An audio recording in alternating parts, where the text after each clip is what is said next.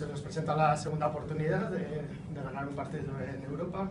Eh, tenemos eh, en mente dos partidos.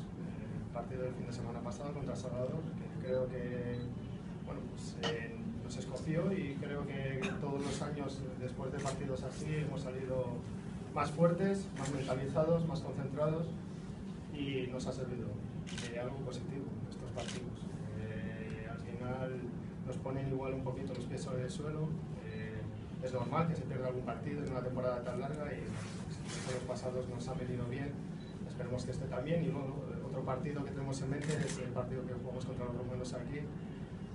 Eh, pudimos dar un poquito más, creo que al final eh, esa es el sabor que nos quedó en la boca, que podíamos hacer algo más, aunque se hizo un buen partido. Y bueno, pues, creemos que es un rival más asequible y estamos pues, ante la oportunidad de partido en Europa. Creo que la plantilla está mentalizada de ello.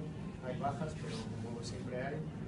Y, creemos que, podemos sacar este partido adelante dando una buena imagen, que es lo que queremos.